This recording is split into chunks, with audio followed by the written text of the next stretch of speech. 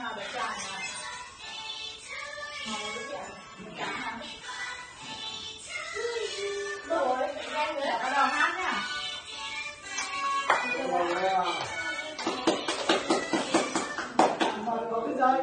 tớ mẹ đừng nói nha.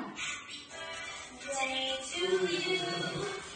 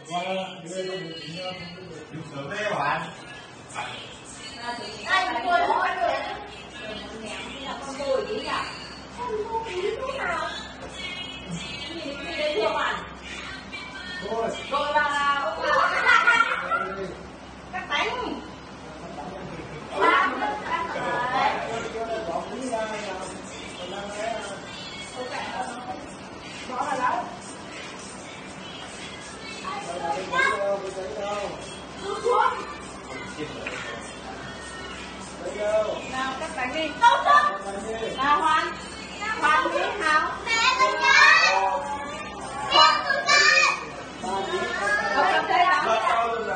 Cầm luôn hả? Đừng có cắt gì cả. cầm hết cầm hết cầm vào với cái tay